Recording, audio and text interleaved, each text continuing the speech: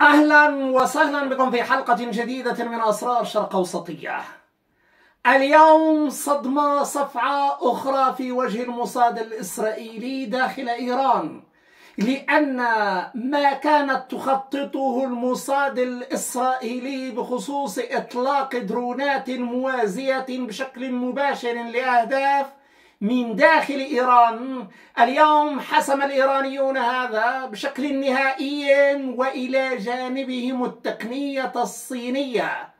فالدرونات التي ستنطلق من داخل إيران ضد أهداف إيرانية بشكل متوازن مع قرار إسرائيل قصف إيران لن تجد نفس المناورة السابقة وهذا الذي دفع مباشرة في تقرير موجه إلى نتنياهو الذي اشتعل غضبا عندما فقد أيضا المصاد الإسرائيلي في الضربة لماذا تحديدا ناتج عن فقط صورة؟ صورة خرجت عبر شبكة إكس عبر تويتر فخلقت ضجة. صورة واحدة قلبت كل التوازنات. ولماذا على وجه التحديد؟ لأن هذه الصورة تكشف أن لدى إيران نظام جديد هو الأكثر تقدما بالليزر تحت مسمى شين جنوان شيلد.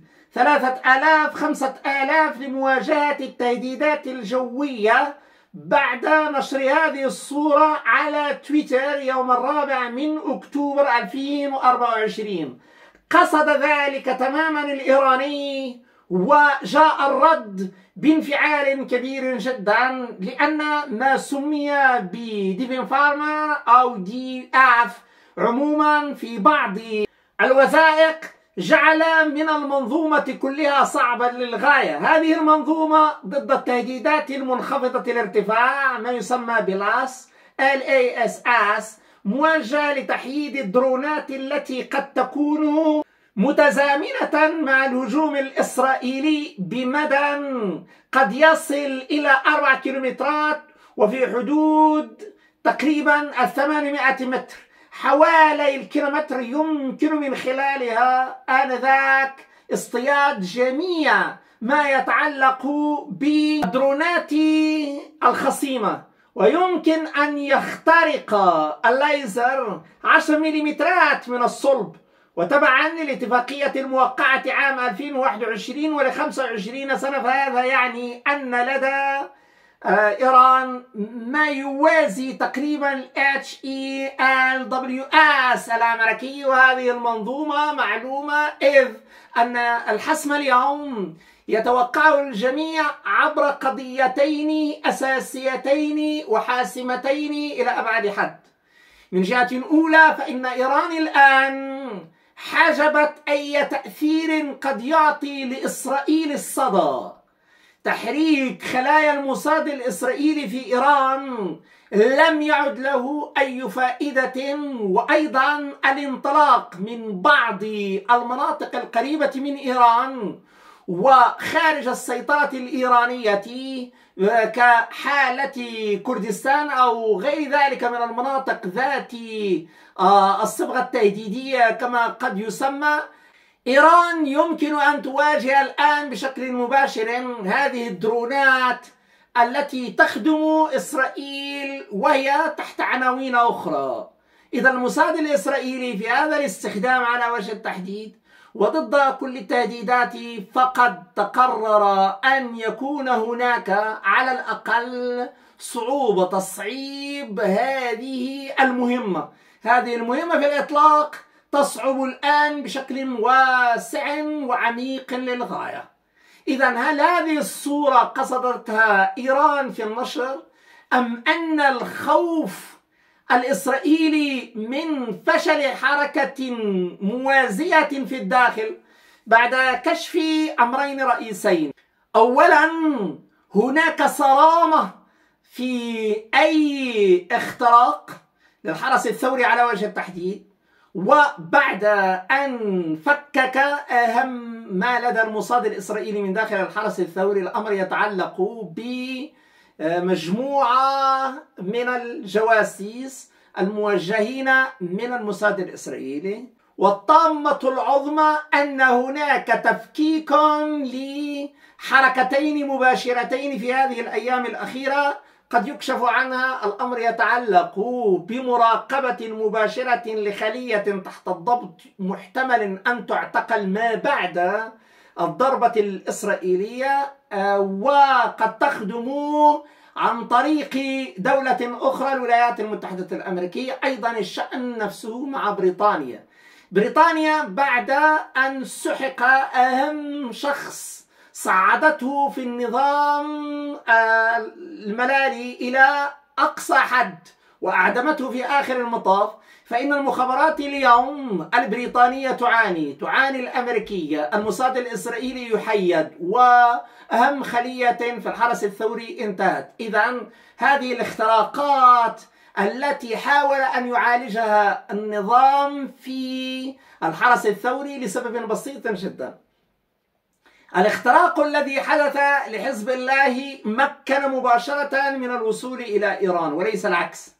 الأمر هنا أن هذا الاختراق الذي تم عبر سوريا لكل من حزب الله وإيران أصبح جزءا منه اليوم مكشوفا وهناك مسألة رئيسة يمكن الآن قولها أن كل ما يتعلق بالأموال والأعمال لمنظمات محددة كحالة حزب الله أو أيضا بالنسبة لما يريده الآن الإسرائيلي. يريد الإسرائيلي دفع حماس وقيادة حماس إلى السودان.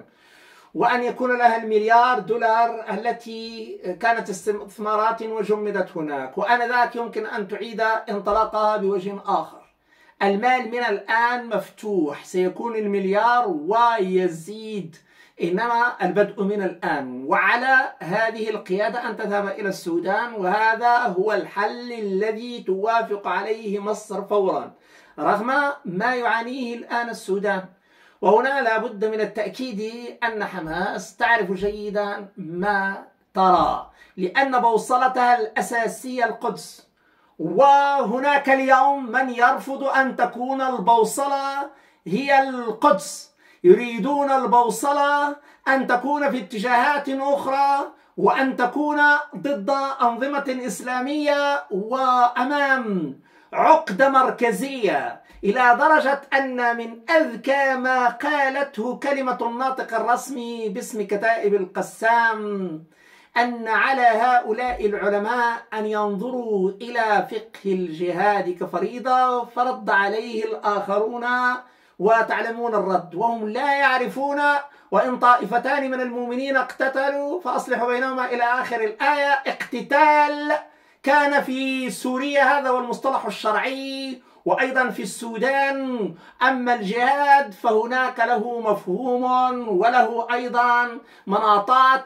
إذا آه، هنا آه، لا بد أن أغلق هذا القوس لأن فيه شجونا لا بد من ذكرها لكن على العموم الآن فإن إيران في هذه المرحلة على وجه التحديد وأمام تدقيق البوصلة من الناطق الرسمي باسم كتائب القسام والوحدة الجديدة التي أصبح فيها الفلسطيني اليوم لا يرى إلا من محور المقاومة. لم يعد هناك ما يبرر حاليا لدى الغزاوي أن ينظر إلى مجال آخر أو إلى نظرة أخرى وهذا الذي سيعزز بشكل واضح هذه آه، الجبهة هذه الجبهة الآن التي أصبح فيها حسن نصر الله وهنية وهذا الرمز الشيعي والسني اليوم. أصبحت هناك فكرة جديدة رؤية جديدة. تخرج هذه الأمة من ظلماتها السابقة الطائفية والاقتتالية حول السلطة إلى أمر آخر. إذا الأمر هو أن تكون لهذه الأمة منعة وأن تكون لها ما يكفي لصناعة سلاحها ولباسها ومقدراتها وألا تكون كشاكلة من يشتري ليفجره في آخر اليوم. وحاليا لا يمكن لبلد كيفما كان نوعه أن يشتري التكنولوجيا الغربية ويؤكد لنفسه أن له أمن قومي داخل حدوده أو بجيرانه.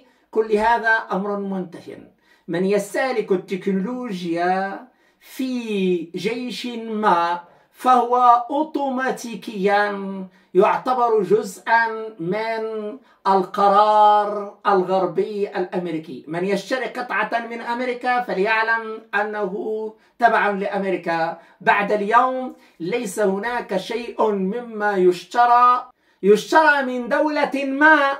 أن نقول بأن هذا المنتوج غير قابل للتفجير تحت أي دعوة للذكاء الصناعي للأمن الرقمي للأمن السبرنيتي إلى آخره. إذا الأمر هنا قد حسم. هذه هي التجربة التي استفادت منها إيران بشكل أكبر.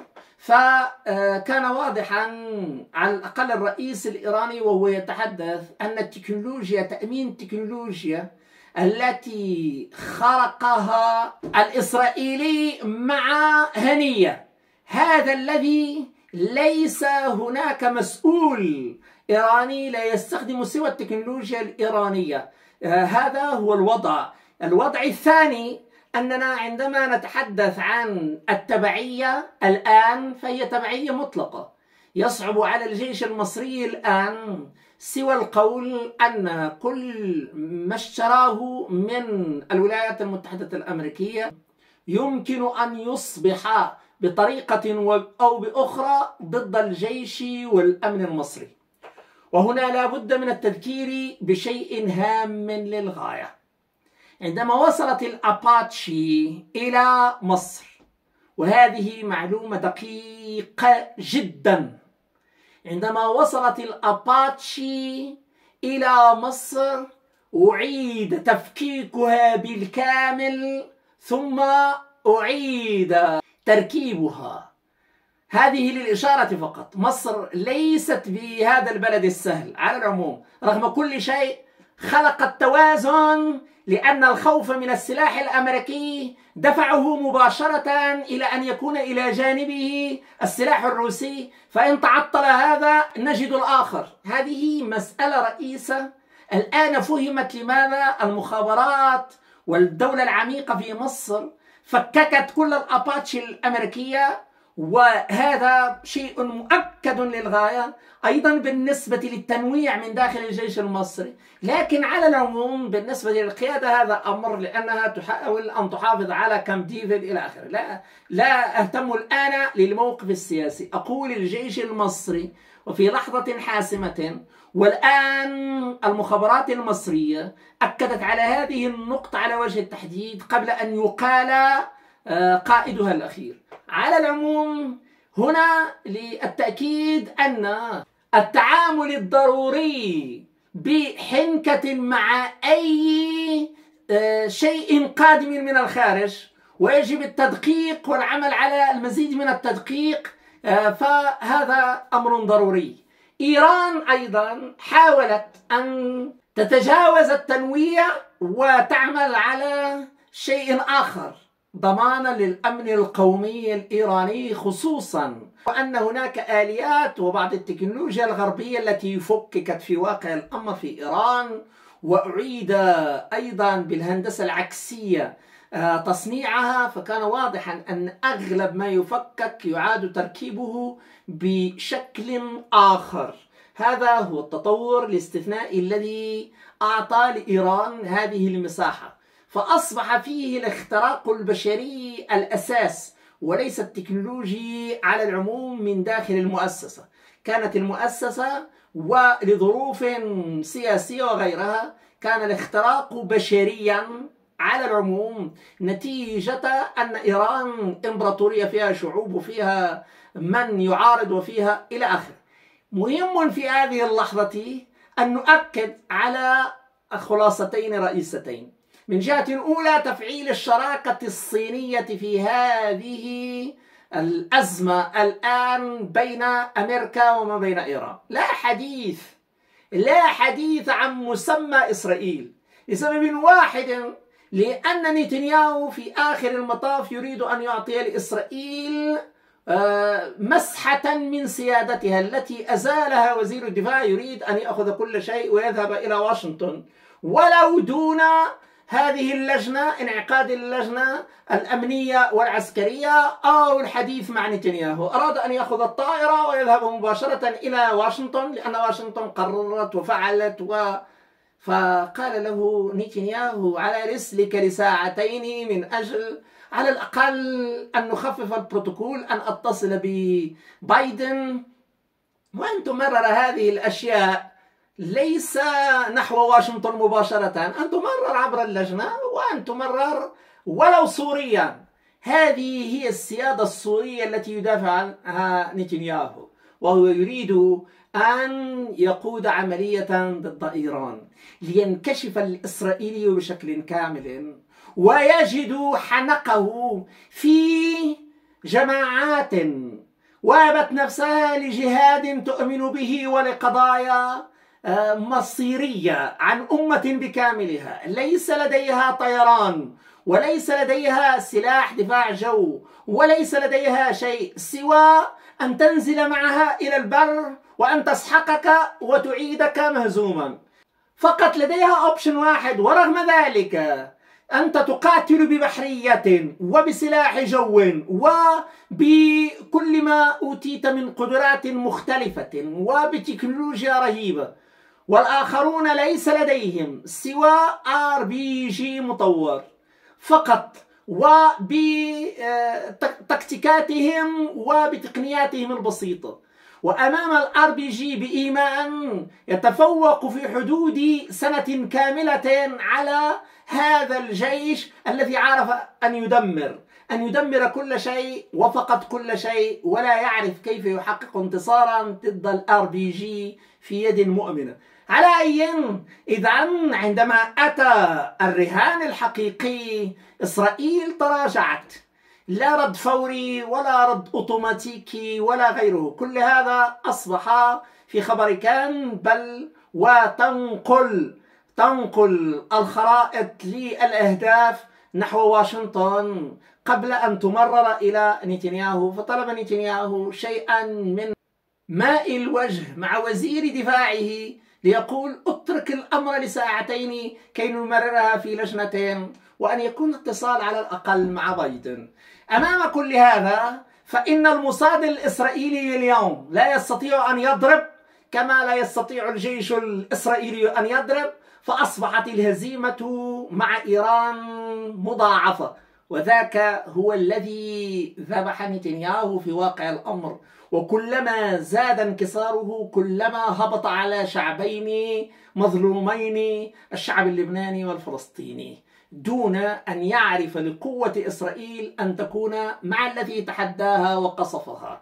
إذا هذا هو الوضع الأساسي الآن أمام تكنولوجيا حيدت المصاد الإسرائيلي وحيدت الدرونات على وجه التحديد التي لطالما خلقها الإسرائيلي عبر عملائه من أجل هذا النصر الوهمي. الآن انتهى النصر الوهمي ونتنياهو يسلم كل المفاتيح لواشنطن على أساس أن يقود تحت قيادتها ما قد يعطى له من دور في الخارطة. هذا واقع الحال مع آخر التطورات التي ظهرت هذا اليوم. مع الشكر الجزيل وإلى اللقاء.